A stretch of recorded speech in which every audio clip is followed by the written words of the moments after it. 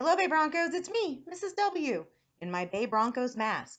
I'm alone in my office, so I can take this off for now, but I wanted to show it to you because I thought it was cool. I'm in my office for the first time since June. Um, it's so nice to be here, but a little sad knowing that we're not all going to be together. But the most important thing is that we're safe. So that makes me really happy. What I'm here today for is two things. One, grown-ups. An email is coming out today at 5 p.m. with just a little bit of information. Please, if you have questions, email me. I'm happy to answer any questions I know the answer to, but just know that not everything's been solidified yet. And I know it's frustrating as a parent myself. I don't have all of the information for my children who are going back to school, and I understand the frustration. But as soon as I know something concrete, I will share it with you. But I still wanted to write you a letter to let you know I'm thinking about you and that we are preparing for this new school year. It's going to look different than our other school years, but I'm excited. I'm really excited to see everyone's faces online. And I'm also really happy that we made the decision to distance learn to keep everybody safe. So I miss you all so much. And I have a book to read to you today. It's called Anh's Anger by Gail Silver, illustrated by Christian Kromer. Anh's anger. Anh's anger. Anh was in the living room building a tower, the tallest tower he'd ever built. His grandfather was in the kitchen making dinner. You see Anh and his grandfather.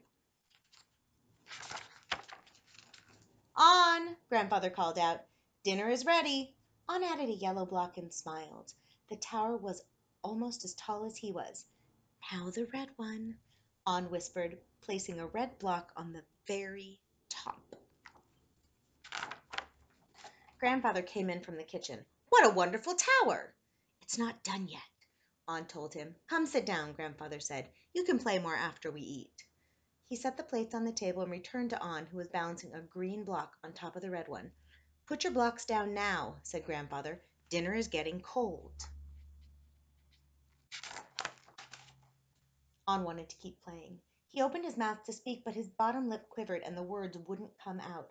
Anh's eyes filled with tears and he started to cry. I felt like this before. Have you felt like this before? Yeah.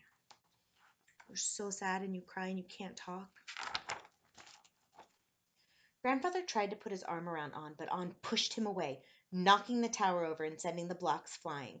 Go away! I hate you! Anh shouted. You're upset, said Grandfather. Please go to your room and sit with your anger.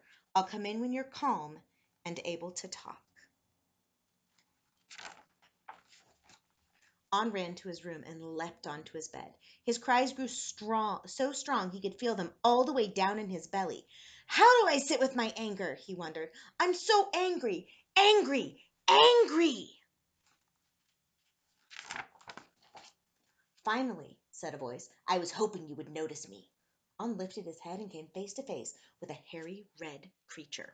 I wonder who that is. Who are you? said Anh, and how did you get into my room? I'm your anger, said the creature. You brought me here. My anger? The anger nodded. Did grandfather see you come in? I'm not supposed to talk to strangers. Don't worry, Anh. I'm not a stranger. I'm the part of you that comes out when things don't go your way. I'm right here every time you get angry. I know you feel scared when I'm around. I can make you cry and want to hit things. I can even make you say mean things to people you love. Anh's anger started to turn the knob of the bedroom door. Come on, he said. I'll show you. Anh was tempted, but grandfather had said to stay in the room. Wait, Anh called. Maybe we can do something in here. Anh's anger turned and extended his hairy hand. I know just the thing, he said. I wonder if Anh's anger is going to make good choices or safe choices. Anh took his anger's hand, and together they danced all around the room. They raised their hands overhead and spun wide circles. They used their breath to make sounds like a strong howling wind. They got down on their knees and pounded the ground with their hands.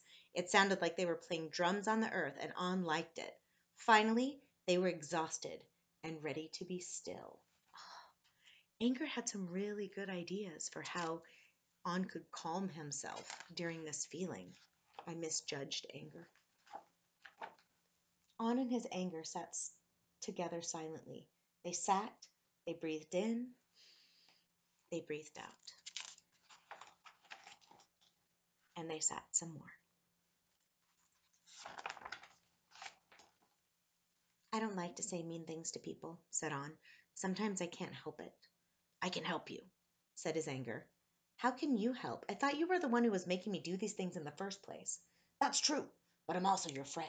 Whenever you feel angry, you should come sit with me. After we spend some time together, you might feel better. Spending time with you is kind of fun, Anh said. Do you want to stay for dinner? I think I'll be gone before dinner, said his anger. Are you sure? asked Anh. We're having ice cream for dessert. Anh's anger smiled, and Anh smiled back. Anh was tired. He took a deep breath and let out a little sigh, and when he did, his anger became smaller. Anh and his anger continued to breathe together, which with each in breath, Anh's anger got a little bit smaller, and with each out breath, Anh felt a little better. Anh heard a gentle tapping on his bedroom door. It was grandfather. Grandfather and Anh sat together. I'm sorry I didn't listen, said Anh. I was really angry. I wanted to keep playing. Grandfather took Anh in his arms. Thank you for your kind words, he said. I sat with my anger like you asked. Anh said, We didn't just sit, we danced and played too. Do you want to meet him? Anh looked up, but his anger was gone. Grandfather, said Anh, do you know what happened? I think I do, said Grandfather. You took good care of your anger and it went away. That's right, said Anh. How did you know? When I was a little boy, I met with my anger too. Really? Was it because of blocks? No, laughed Grandfather. There were no blocks, just frogs, a lily pond, and a sun that wouldn't set. Come, let's eat dinner, and I'll tell you a story. Look, there they are eating dinner together. This book makes me think about what I do when I'm angry to take care of myself. Like Anh, sometimes I take deep breaths, sometimes I need to be by myself. What do you do when you get angry? It's important for us to be able to sit with our emotions and to understand anger is natural, but we need to be able to deal with it so that we can move through it and be happy again, like Anh. Thank you so much for listening to this story. I hope that you enjoyed it. Broncos, I miss you so much every single day, and I can't wait to see you online. And remember, today and every day, it's great to be a Bronco. Bye, my friends.